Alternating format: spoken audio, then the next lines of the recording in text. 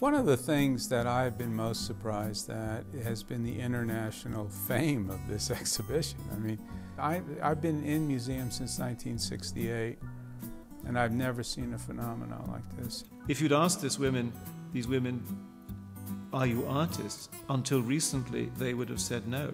We're just doing this because it comes naturally. So our definitions of artists and outsider artists and so on are all thrown into question. These quilts are important as contemporary art for several reasons.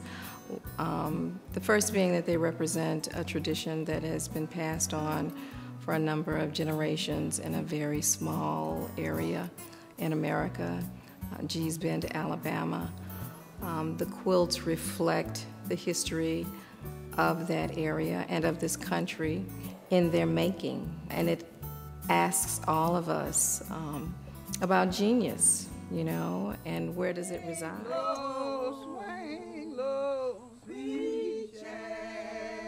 This project is important to me personally as an African American woman. People are moved, they cry, they want to know the women. He ain't thought about no artists for quilts, but it came to be so. And I know it's so, because I done see them on the wall in museums.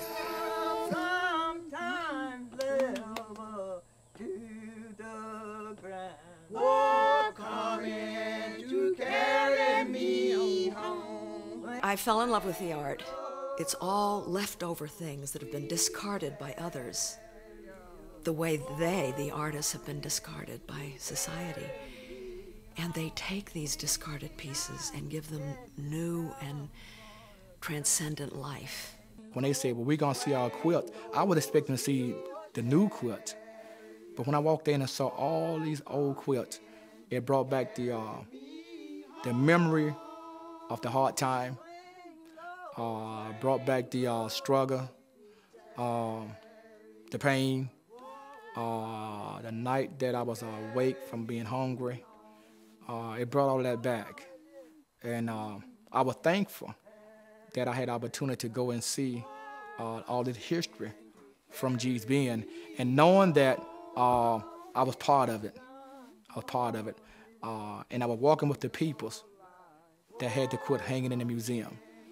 Oh, it, it, it, it was awesome.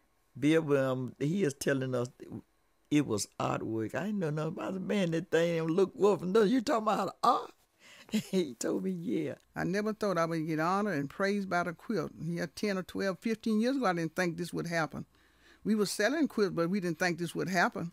Until Bill came along, he told us that we had artwork, and I didn't know what artwork was. He's y'all have all this beautiful artwork here on y'all mattress and thing. He's just going to mattress and trying to pull out the mattress, old quilts we have up under there. He said, This is fine artwork. I said, Artwork? He, he said, Yeah, this is artwork. As many women have said, and I'm sure they've said it to you, they never realized that the world would respect them as human beings, would respect what they did as being important, and respect them, would respect their culture, respect their community. And I'll tell you the truth, I thought he was crazy buying all them old quilts. so what's wrong with this man?